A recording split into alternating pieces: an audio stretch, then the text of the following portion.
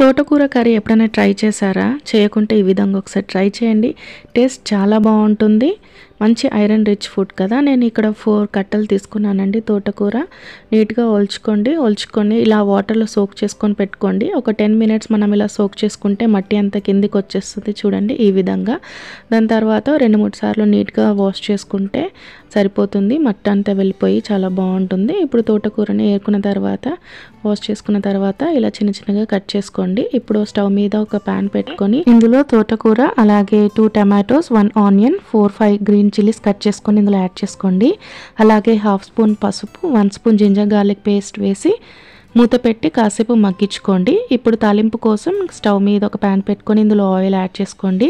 Oil బాగా వేడయ్యాక ఇందులో కరివేపాకు జీలకర్ర ఎండుమిర్చి యాడ్ చేసి ఈ తాలింపుని మనము తోటకూరలో యాడ్ చేసుకోవాలి. ఇప్పుడు ఇందులో తగినంత సాల్ట్ కారం కొద్దిగా నీళ్ళు పోసి ఉడికించుకుంటే మన కర్రీ రెడీ.